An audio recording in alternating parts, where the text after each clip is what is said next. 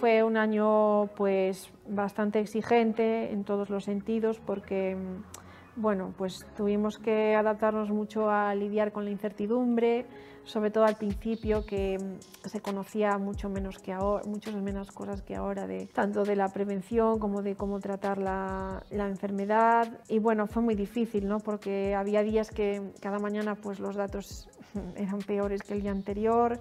No se puede explicar quizás con palabras eh, lo, que, lo que vivimos en esas semanas, sobre todo entre marzo y, y mayo-junio.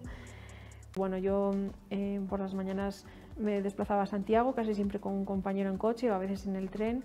Pues me levantaba um, sobre las seis y media y um, de, trabajábamos de 8 a 3 en el hospital, llegaba a casa sobre las 4 y media, entre medias pues comía casi siempre de, de tupper, ¿no? que, que llevaba preparados y, desde la a la tarde pues sobre las 5 y media empezaba a entrenar y así encadenaba las sesiones hasta que acababa y bueno, me acostaba bastante tarde y, y así pues todos los días, ¿no?